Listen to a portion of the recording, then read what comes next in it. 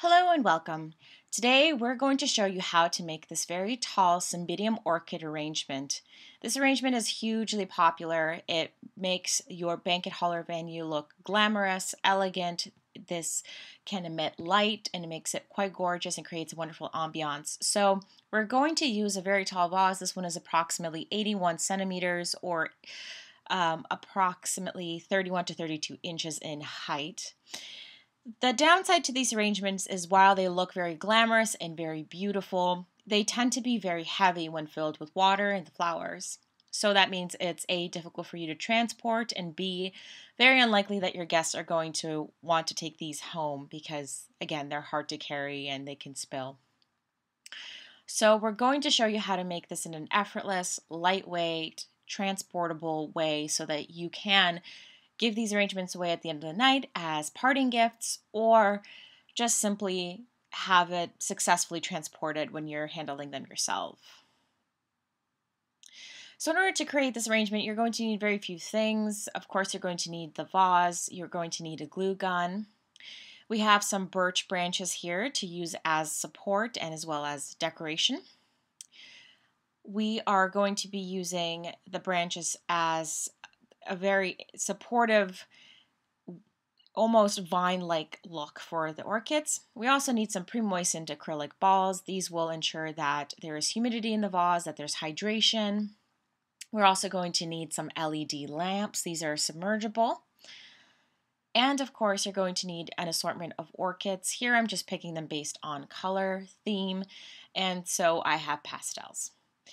We're going to be creating a sort of layered step effect with the shorter orchids at the bottom, longer stems towards the top, and it's going to appear as though the orchids are growing alongside the birch branches out of the vase. So it's a very almost whimsical look. It's quite beautiful. So, to begin, you might wish to decorate the neck of the vase with some of these acrylic beads or any other sort of sheet-like ribbon or design that you wish to attach. And for this, all you need is a glue gun and you wrap it around the neck and it just gives it an accent. It gives it a bit of a more polished decorative look. But this is detail is essentially all up to you and whatever you wish to include or you may wish to exclude it, but this is completely flexible and adjustable. Next, you're going to want to fill the vase with some of these acrylic beads. Now, acrylic beads are very lightweight, so this will help solve your heaviness problem and make these more mobile, more transportable, and easy to carry out of the venue once the event is done.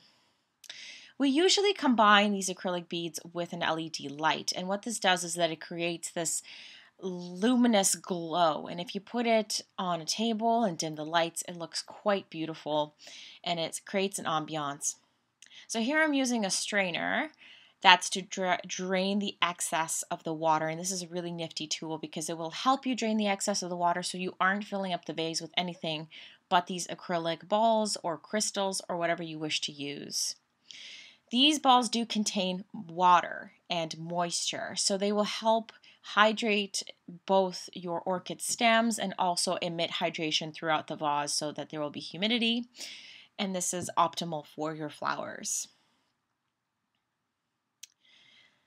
So as you see here, I am filling them up with these acrylic balls. You will fill up, um, well, you won't fill up, of course, too much of the vase, but you'll just fill up enough of the bottom and then you can submerge a couple of LED lights to create that luminous glow.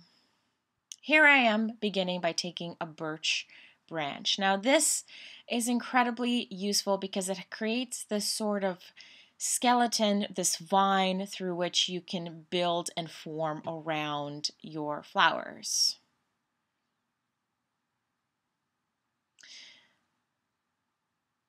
So, before I submerge the branch, I'm going to set the lower tier of the flowers.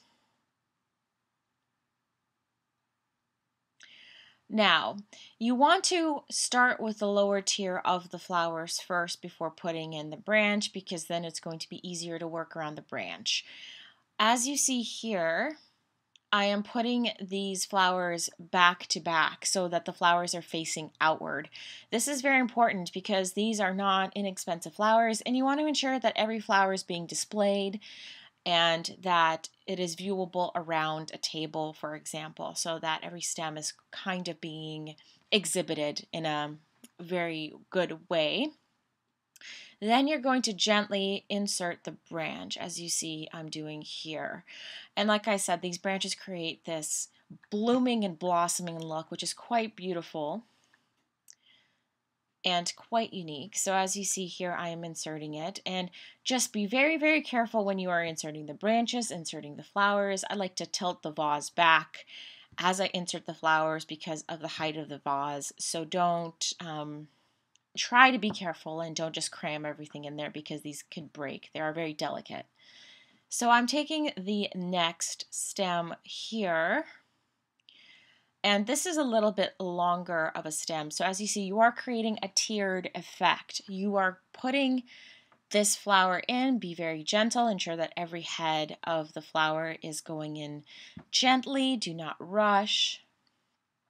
And you are putting it in, and as you see, the stem is touching the acrylic balls here, but it's also creating this step ladder tiered effect, and it looks as though the flowers are blossoming out of the branch, as you see here.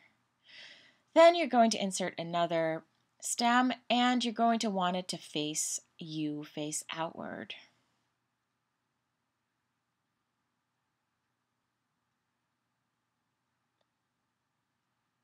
So select whatever stem you would like to use next. This is of course in accordance to the color theme that you are using, as well as the length of the stem. And if the stem is too, too long, you can of course always trim it to fit.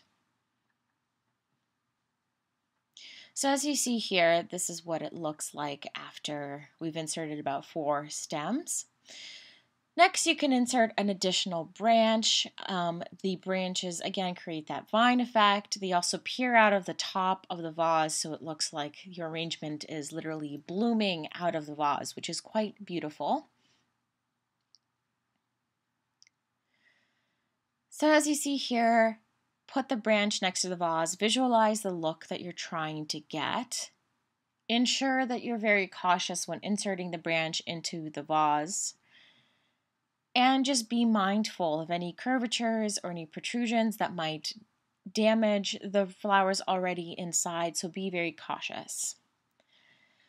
And then you can insert the stem. You might want to wish that the branches are not both facing the same direction, that maybe they're protruding in opposite directions to create a more fanned effect.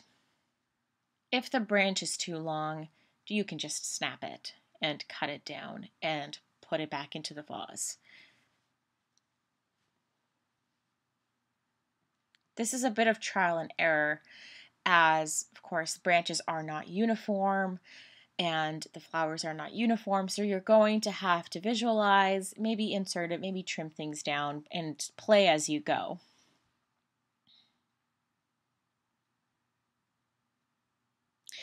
But as you see, you have these very beautiful textured dimensions that you're adding into the vase. You're creating this wonderful effect. You are, it's, it's very whimsical. It's very natural looking. And it's incredibly elegant. So as you see here, a lot of people are concerned that if the orchids are not submerged in the acrylic, that they are going to dehydrate. That's not essentially true. Orchids can have a lifespan of about 24 hours without water. If you create a humid environment, as we are doing with the acrylic balls, they will last. They will last throughout your ceremony. So you should not be too concerned about stems not being fully submerged. And you can insert, as you see I'm doing here, additional stems uh, towards the top of the vase arrangement as you can see that I'm doing here. And the stem is not touching the water, but it is going to be cared for by the humidity that is being created by the acrylic balls. So here you go, and you're seeing the look that I'm creating. Another additional detail is having the orchids peer out of the vase. Now, this again is very in line with the blossoming blooming effect. And again, don't be too concerned that the orchids are not in water. They can last for up to 24 hours. They will last throughout your ceremony. And you shouldn't be too, too concerned because you have created that humidity and it just makes for a beautiful blossoming look. If you are concerned, of course, you can stop at just filling the vase and ensure all the stems are in the acrylic. So as you see here, this is the finished result. It is very beautiful, very elegant, very natural looking. It is a unique arrangement and it's very easy to make and you can use whatever orchids you prefer. Dendrobium, Cymbidium, Phalaenopsis, it's entirely up to you. The perks of this is that it's easy to make, it is easy to, to transport, it is very lightweight, there's basically no weight to it. You don't have to be concerned about it spilling, and you can create this to fit whatever vase that you're working with. The dimensions of your vase and the height of your vase, as well as the diameter of your vase, it, it's entirely up to you, and that will, of course, change how many flowers are being put inside it. And as you see, you can use whatever orchid you would like and whatever accents you wish to incorporate.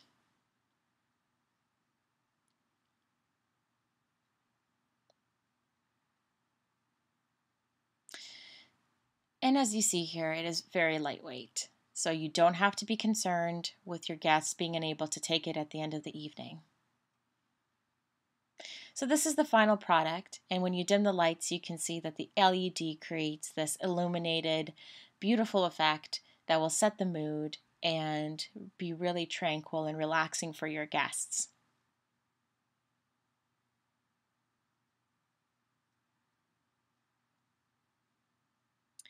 This is the finished product. I hope you enjoyed watching. If you have any questions, comments, or concerns, please leave them down below and we will answer them. I really wish you the best with your designing and I hope to see you soon. Thank you for watching.